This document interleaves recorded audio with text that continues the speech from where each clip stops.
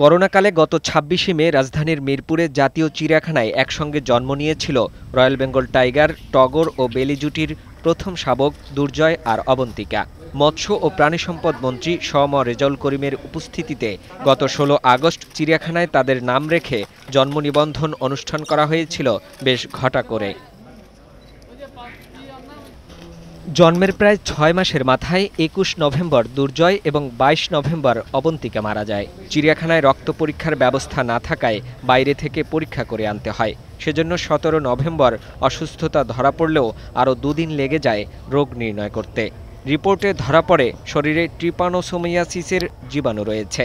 চিড়িয়াখানা কর্তৃপক্ষ বলছে এক ধরনের মাছের কামড় থেকে তৈরি হওয়া এই রোগে তারা প্রাণ হারিয়েছে। রোগটাই এইরকম যে যেহেতু ছোট ইমিউনিটি কম ছিল লক্ষণ প্রকাশ পাওয়ার পরে সেটা আর আমরা ভালোর দিকে নিয়ে যেতে পারিনি। এটাই আমাদের ব্যর্থতা। মিরপুর চিড়িয়াখানায় ট্রিপানোসোমিয়ায় উনিশশো নব্বই সালে চারটি এবং দু হাজার ষোলো সালে মারা যায় দুটি বাঘ শাবক।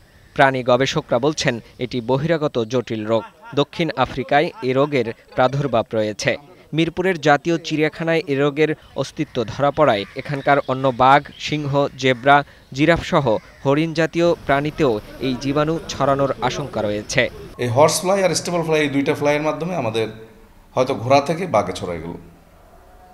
বা মানুষেও ছড়াতে পারে বা অন্য অ্যানিমেলে ছড়াতে পারে। এখন সেইভাবেই কিছু একটা হয়েছে কারণ এলিফেন্টের থেকেও ছড়াতে পারে। এনভায়রনমেন্ট ক্রিয়েট করে তারপরে যদি ব্রিড করার প্ল্যান করে তাহলে বেটার হবে। তাহলে নতুন ব্রিড আসলে বাচ্চা হলে সেগুলো সার্ভাইভ করবে। চিড়িয়াখানা কর্তৃপক্ষের দাবি সীমিত সাধ্য ও দক্ষতা দিয়ে তারা যথাসম্ভব চেষ্টা করছেন।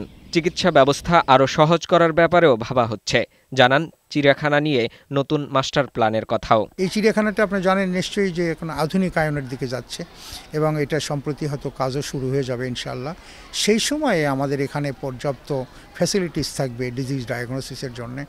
জানা যায় প্রাণী চিকিৎসার জন্য চিড়িয়াখানায় দু হাজার এগারো সালে কেনা হয় প্রায় সাড়ে তিন কোটি টাকার যন্ত্রাংশ। প্রাণী চিকিৎসার জন্য গড়ে তোলা হয় একটি হাসপাতালও। তবে পর্যাপ্ত চিকিৎসক ও কোনো ল্যাব না থাকায় অসুস্থ প্রাণীর রোগ নির্ণয়ে যেতে হয় চিড়িয়াখানার বাইরে কেন্দ্রীয় প্রাণী চিকিৎসা কেন্দ্রে। এদিকে বাঘ, শাবক, অবন্তিকা, দুর্জয়ের মৃত্যুর রেশ কাটতে না কাটতেই এই চিড়িয়াখানায় মারা গেছে একটি জিরাফ শাবকও। মুমূর্ষ রয়েছে একটি চিতাও। দক্ষ চিকিৎসক ও আধুনিক হাসপাতাল তৈরি না হলে এভাবে আরও প্রাণী মারা যাবে বলে আশঙ্কা করছেন বিশেষজ্ঞরা। ফাহিম মুনাইম বৈশাখী সংবাদ ঢাকা।